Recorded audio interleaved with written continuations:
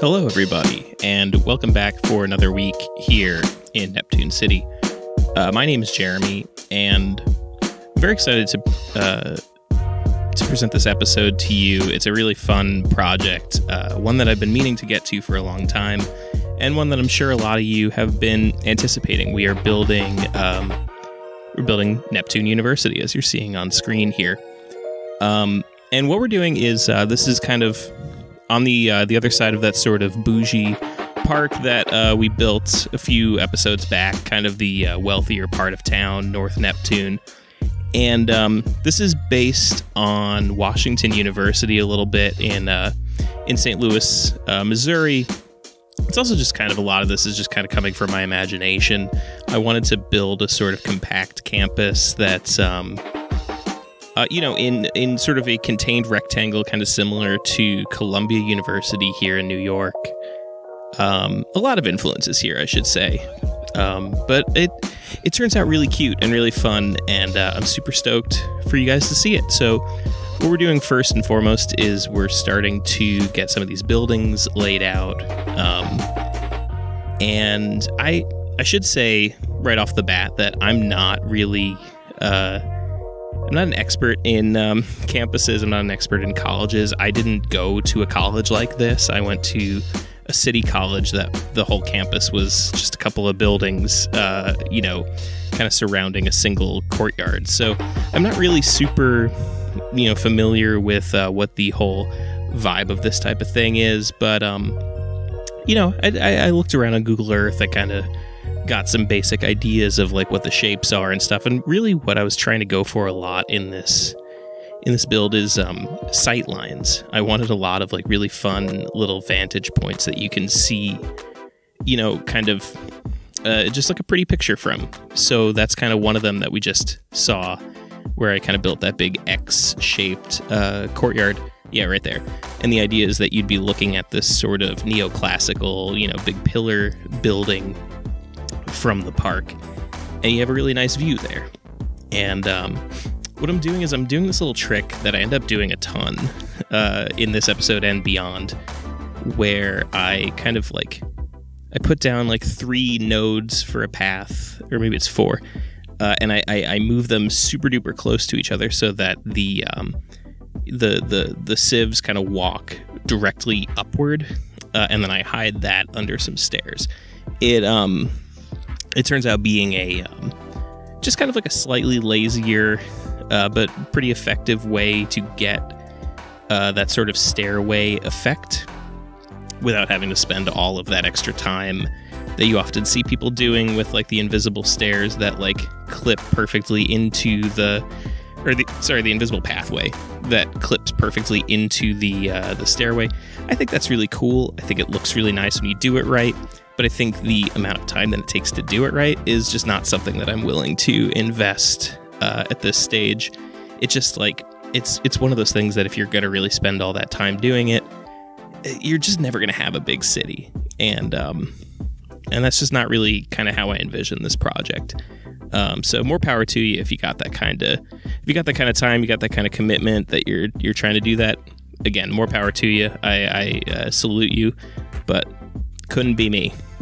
Anyway, um, over here, doing a lot of like kind of sneaking paths through the insides of these buildings to kind of make these uh, passageways through them so it looks like people are using the doors of the buildings, even though you, like buildings usually generally in this game have like kind of one door that actually works, and um, you know the rest are just decorative. Uh, and so I'm trying to like use these paths to kind of make sure that like people are coming in and out of all of the doors and um, yeah, again, just kind of like building these little courtyards. This campus has just a lot of, I guess they're called quads. Uh, I don't know if all of them are quads or if like one of them is a quad. Somebody let me know. Is that how, how does this work? Is one of them a quad? Or are they all quads? Anyway, kind of just like trying to manicure all of this land in a similar way to just kind of show that like all of this is done by the same people, done by the same company, and um, ooh, this is fun. I put this little clock tower in the middle here. Uh, I really like the way that looks in the end. Um, anyway, I should say a uh, little little channel update. Uh, if you didn't see it last week, I started a new project on here called The Scylla Republic. Uh, if you haven't checked it out, I really, really highly encourage you and um, uh, just kindly ask. I kindly ask you to please check out my new show. Uh, I think it's really fun. I think it's really cool. I think people who like this type of video are really going to like it. I know a lot of people in this community kind of like go where their interest goes. You know, like I know I lost a lot of people when I stopped doing a Dutch city. Like all my Dutch fans kind of, you know, they lost a little bit of interest in the channel. And I can understand that to some degree. But I think if you're a fan of this game, if you're a fan of playing the way that we play uh, on this channel, I think you're going to find something to like in Scylla Republic. So I really, really would encourage you to to come check it out. Give it a give it a shot. Give it a try. You know, I promise you're gonna you're gonna find something you like. Anyway, kind of one of the things that I'm trying to do here in this project is um, kind of a fun mix of um, kind of older buildings and newer buildings. I wanted to give the sense that this campus has grown over time, and so like there's some of these super old brick, like ornate buildings. Uh, you kind of see them in the top right corner of the campus right now. And then, kind of closer to camera, you see these like more modern uh, neoclassical ones that are kind of trying to imitate that style, but kind of falling a little bit short. Uh, most of what I'm using right now are, are King Leno assets. Um, and uh, I believe those top right ones are from Darf. And then this bottom left one is Do Not Eat. Um, you know, trying to it, it, just going for like a nice mix that kind of all fits into the general, you know, Neptune City aesthetic of like brick and uh, you know red bricks and and you know just generally kind of like ugly falling apart sort of stuff. Uh, over here, I'm building, I think, the only parking lot on campus. No, actually, that's not true. There's a second one that's kind of a little further down from here. Uh, but you know, it's one of those jokes that I always see when people make colleges in this game is uh, uh, that you made a realistic amount of not enough parking. So I, I, I, tried to, you know, keep in that spirit in this build and and and not really provide enough parking for this campus. But you know what? There's a the the subway stops right next to it, so I don't think that it's uh, entirely necessary to provide very much at all. So over here, I'm just kind of like building this little stairway down into the campus. I really like the different levels that I've been able to build into this project. Um, it's fun that it's kind of like built into a little bit of a hillside here, so it ends up it ends up just having like a fun sort of shape to it. And yeah, just kind of using these. Uh, I'm using these pathways kind of next to the sidewalk to kind of like I mean, in part, I'm trying to differentiate the campus from the rest of the neighborhood to kind of make it seem like you know, you're really not supposed to be on this land unless you're going to school. But additionally, kind of trying to give the impression of like kind of a wider sidewalk that kind of has some plants going through the middle of it. And yeah, just kind of trying to, you know, like I said before, manicure this place in such a way that it looks like it's all you know, done by the same group of people, kind of trying to close it off, but not in like a um, aggressive way, I guess I should say. Trying to make it, um, you know, welcoming, inviting, but still pretty clearly like you know don't don't come onto this property unless you're supposed to be here and then additionally i'm using these rocks that uh, i use all over the city trying to make it sort of a consistent sort of a look all over the place that like you know where the cliff texture shows up, I try to cover it up a little bit with um, with these rocks.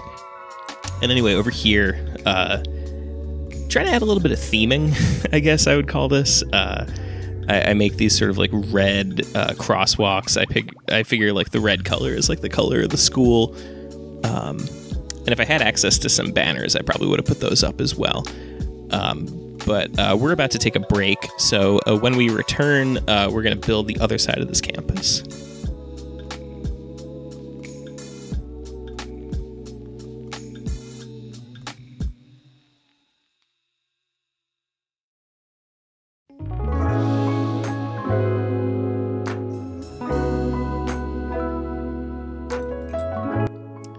And we're back. Uh, now, over here, on the far side of campus, we're kind of across this big avenue, and um, this side of the the college, I based on um, Brooklyn College here in New York, uh, which is a place that is near and dear to me. It is not where I went to school. It is not where I even considered going to school, but it is uh, where I saw Bernie Sanders speak for the first time, and uh, that was a really special day for me. It was really uh, fun and exciting uh, in a way that um, you know politics never really was for me.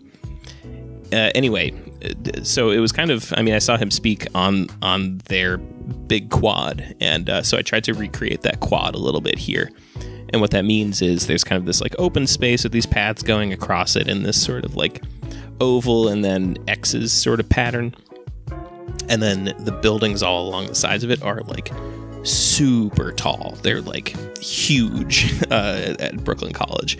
Uh, and and it just so happens that the vanilla um, campus dorm buildings are really uh, way too big.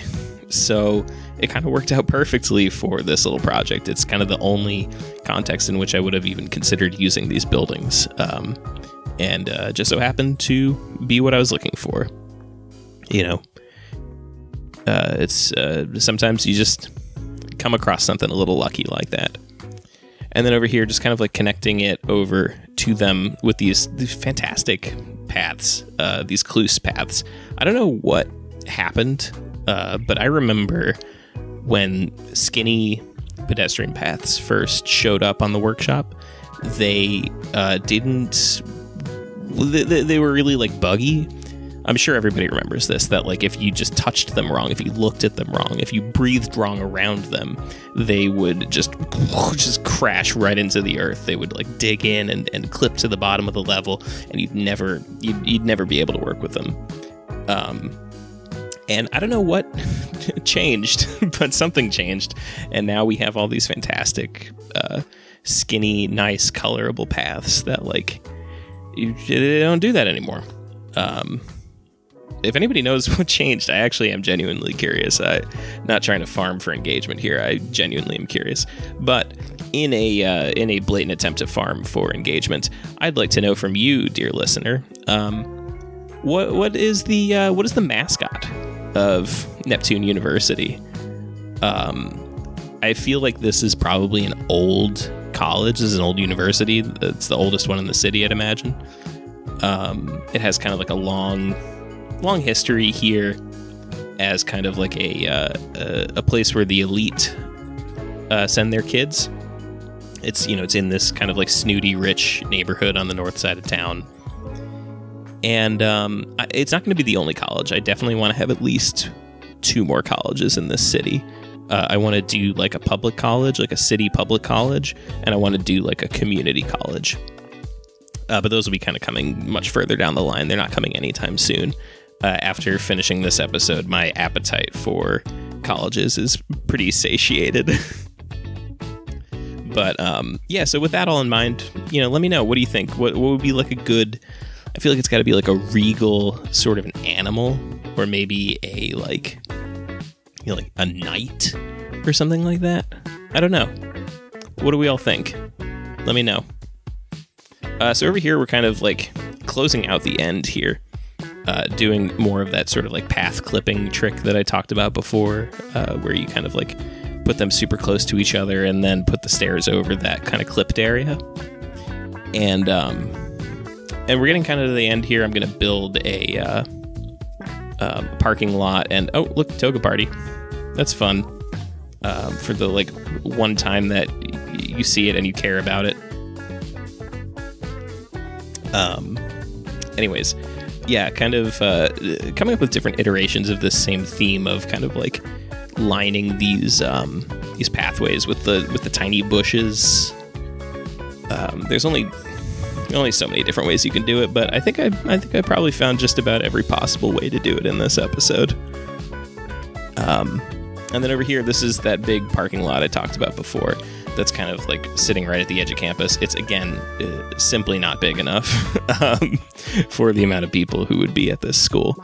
Um, but it's okay because it's it's probably got a pretty strong commuter culture, I'd imagine, and also probably a lot of people would live nearby because it's a pretty good little neighborhood of, of medium density housing. So I'd imagine there'd be a lot of student housing available nearby. Um, but yeah, otherwise, just it's this is another one of those times where you're like trying to find all the different ways that you can do a parking lot because the, you know in an American city you just got to do so damn many of them. You got to find every possible way you can to to have fun doing it, or else you're gonna go absolutely insane. Oh, I didn't talk about this by the way. There's this sort of big um, auditorium over here. I'd imagine it's probably where like the basketball team plays or whatever.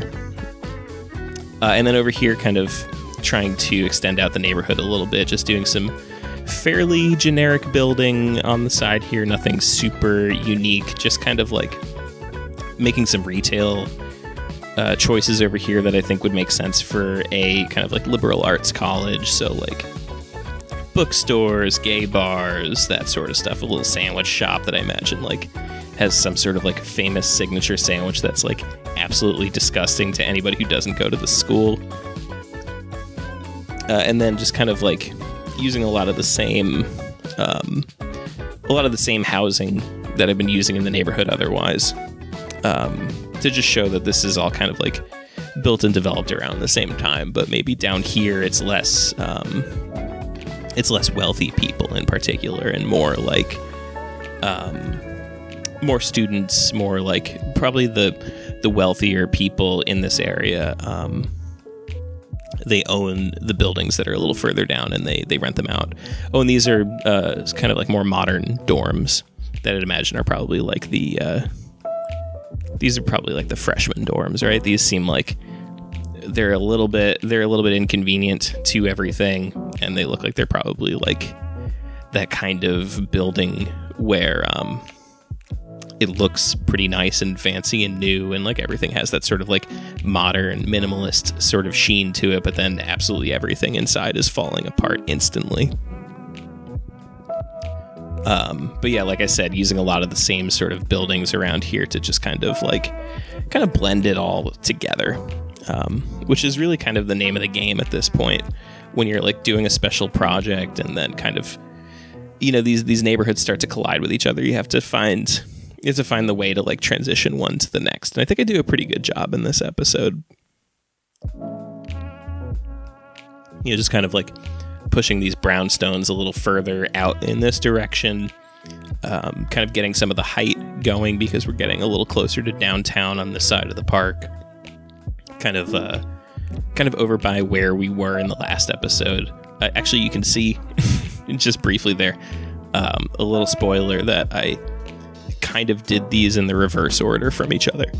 Uh, but that music, of course, means that we are at the end of the episode. I want to thank you so much for bearing with me. I know this is kind of a rambly episode. It's hard to talk about a single project for this long. Uh, but my name is Jeremy. You can find me on Twitter at, Jeremy Thunder. Uh, please, please check out Solar Republic. Um, and uh, that's it. That's all, folks. Thanks for thanks for hanging out. I'll see you next time.